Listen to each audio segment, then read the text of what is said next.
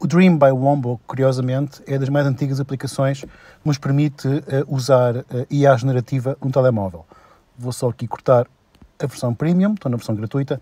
Já é antigo, uh, surgiu nos tempos das antigas GAN, ou seja, há cerca de 3 anos atrás, se não me recordo bem, e tem sido consistentemente um dos melhores geradores de imagens para dispositivos móveis. Tem uma versão paga e uma versão gratuita. Eu estou, claro, na versão gratuita, como devem ter reparado logo no início. E como podem ver, a interface é muito simples. Posso tocar aqui no mais para criar um novo, uma nova imagem. E em seguida posso escolher o aspecto uh, da, do, meu, do meu trabalho. Reparem que na versão gratuita há coisas que estão trancadas. Uh, esta interface é super simples. Depois escolher o tamanho do, do meu projeto, posso introduzir o prompt que pretendo e depois de colocar o prompt, posso ir buscar um dos modelos que o Wombo me permite. Existe sempre a opção, está cá mais para o final, sem qualquer modelo, aqui, ou seja, o algoritmo irá interpretar o prompt e gerar os resultados em cru, mas claro que podemos sempre uh, definir um modelo de treino que vai condicionar as imagens que vamos receber.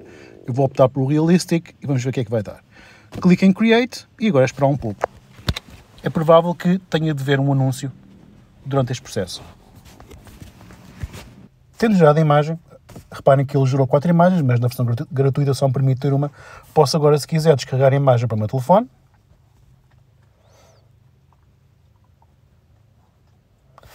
Ou posso criar variações sobre a imagem. Se estiver na versão paga, claro. Posso também fazer uma nova edição, ou seja, posso juntar um outro prompt a esta imagem e cruzar um novo prompt com o prompt original e a imagem produzida para gerar novas variações. O Wombo Dream também permite cruzar imagens uh, com modelos treino e prompts. Uh, posso ter imagens importadas do meu rol de câmera ou ter imagens já pré-feitas. Vou aqui buscar uma já feita. E um pormenor interessante é que podemos uh, aumentar ou diminuir a influência que a imagem irá ter sobre o algoritmo, ou seja, isto vai condicionar os resultados. Portanto, basta escolher a imagem, clicar em Create e ele vai combinar o prompt. Talvez não seja o melhor resultado, mas uh, creio que tentou fazer o melhor que pôde, dados os limites.